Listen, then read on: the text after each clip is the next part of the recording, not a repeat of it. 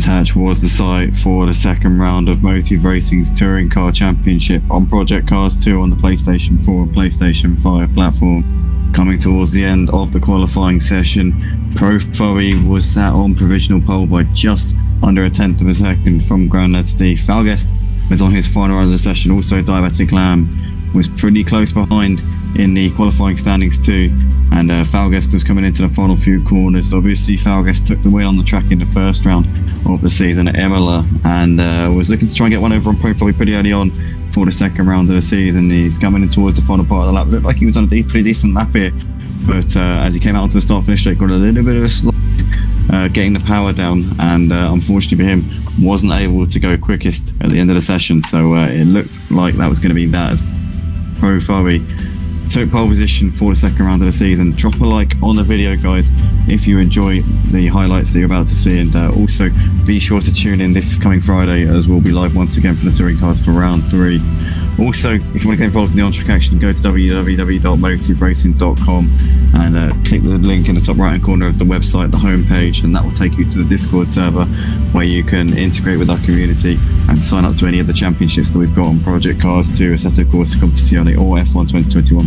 But with that being said, let's get into the highlights, and uh, without further ado, let's go. Like Grandest League got a better start than Pro Fabi's already got the lead coming into paddock. Falguest is under attack there from Diabetic Lamb, but League's up into the lead there as they're still side by side up towards Druids. As this Pro Fabi going to try and go around the outside of Grandest I think League's going to take that tighter line, and it's quite easy to on the outside in them again. But looks like Pro Fabi's tucking in for the time being uh, in P2. The Falguest there in third with Diabetic Lamb just behind him. Smoky Devil, Big Blue running in sixth place. Joe back behind Disco, DJ Phil, keeping them through that at the back of the pack at the moment. But a very clean first few corners. League leads ahead of Pro Fabi, and that's the only really real change in the order at the moment. So Pro Fabi's going to want to get back to the rear end of League and try and push him hard in this one. No track limits for tonight, but do a bit of an experiment to make sure, or to see rather, whether the drivers can actually keep, keep it within the track limits with the track limits off. We're going to be watching very, very closely tonight on the track limits, and we're going to be policing this to the highest degree. Um, Fulek still going. DJ Phil's coming in to, to make his pit stop here very early on in the race. Diabetic Lamb there throwing a little feint to the inside of Falguest. Couldn't quite make it work for himself. But uh, these guys giving us a great show out the front here as now Pro Fabi is in the lead. So he's got ahead of Grandad. I didn't see down the stream, but Pro Fabi is now the race leader here. Grandad Steve's still on the back of him, but is Pro Fabi going to just try and break away a little bit now that he's got the clear air? Smoky Devil running best of the rest of the moment in P5. He's got Big Blue hunting him down though.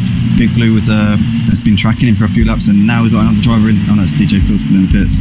But um, now has the lead, three tenths and gap to Grandad Steve. Falguest has got heavy pressure from Diabetic Lamb. Is making a move coming in towards Druids? I think he is. Diabetic Lamb's up into third as, as Falguest gone a little bit wide there out of Paddock Hill and maybe compromised him up the hill towards Druids. Whatever the case, Diabetic Lamb is up into third place. Absolute legends out on track tonight in the touring cars. Oh no! Oh my goodness! I can see Grandad Steve oh, been the into the barrier a little bit. Now would be a good time to pit for him. But uh, Smokey having to really swerve out of the way there. And oh, don't tell me they've crashed. No, they haven't, thank God.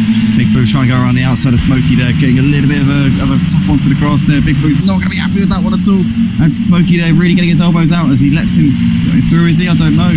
Maybe Smokey's letting Big Blue back through. I don't know what's happening there, but it looks like he's now allowed him to uh, take the. No, he hasn't. No, he hasn't. I don't know what's going on there.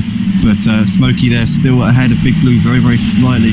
But that all started off from Grandad Steve losing the car and rejoining the track, and it caused uh, Smokey to have to take evasive action and basically just crash into Big Blue there. But they kind of get away with it without too much damage at the moment. Big Blue lights on, not happy with Smokey uh, in the back end of that lap. He's looking to the inside of. Grandad Steve still sat there waiting and watching and hoping to pounce and make the most of any incidents that happen in front of him. Grandad Steve well out of position due to that little mistake that he had coming towards the end of the last lap. Big Blue's up the inside of Smokey into Druids, and on the exit, it looks like he's got that done up into fourth place.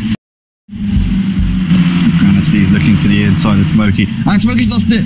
Oh, Smokey's got loose onto the curb a little bit. He's bending into the wall, and he'll have a bit of damage on that car, I'm sure.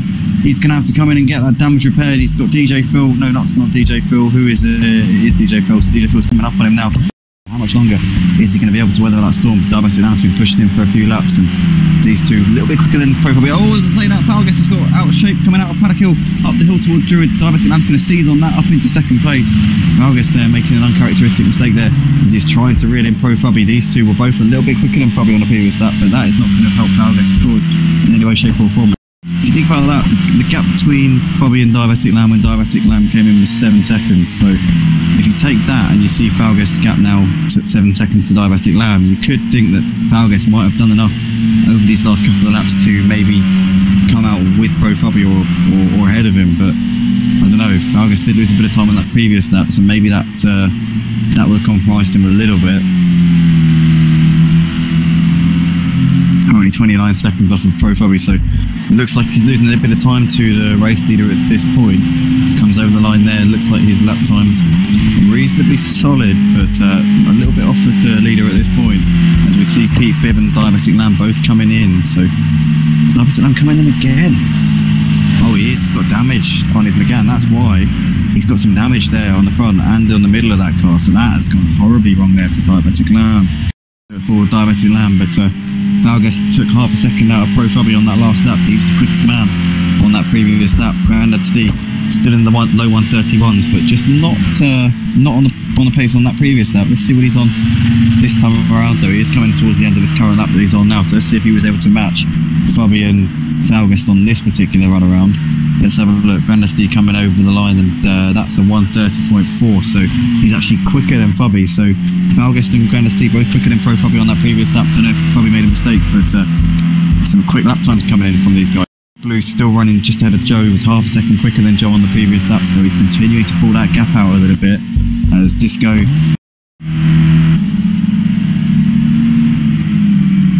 Oh, we've lost Diabetic Lamb. He's retired from the race here on lap 17. So uh, it's really unfortunate there. Diabetic Lamb out of this race prematurely.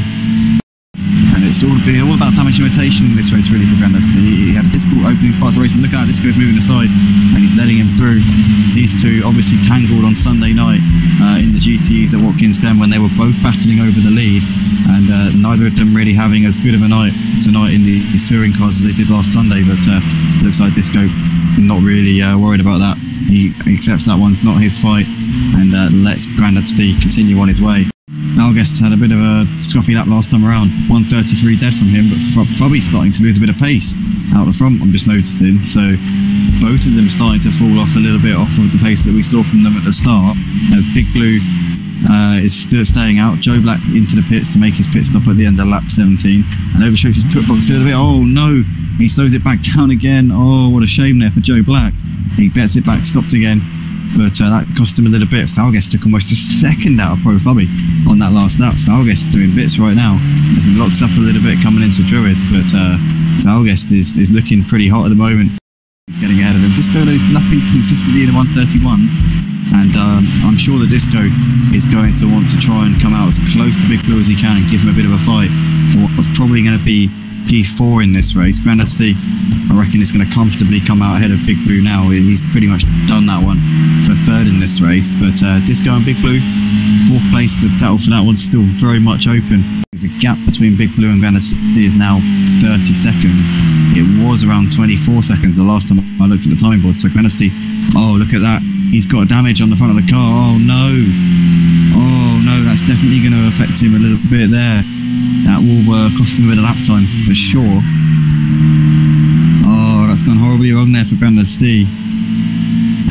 We're not, we're not going to really know the full story, but uh, looks like Joe Black's got ahead of Grandad Steve. He's up into P4. That could be a net P3 once Big Blue comes into the pits. So that position there from Joe Black could be for a podium spot here in this race. Nicely done there from Joe.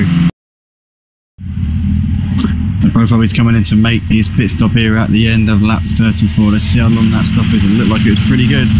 I'd say six or seven seconds there that he was stopped in the box for.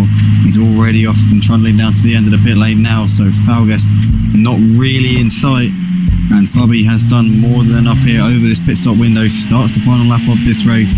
Falgast there's just coming out of clearways out onto the start finish. So what a drive it's been from Fabi. Took the win last week in Imola After finishing second to Falgas on the track, he ended up getting the win due to the time penalties. This time out, he's needed no such things. He's needed no such time penalties handed out to the drivers in front of him to take advantage of. He's just driven superbly. He has been the fastest man out on track tonight in the Emochi mile seven Renault Megane livery out at the final corner Pro Fabi. He's going to take two from two here at Motive Racing for the Touring Car Championship. What a drive!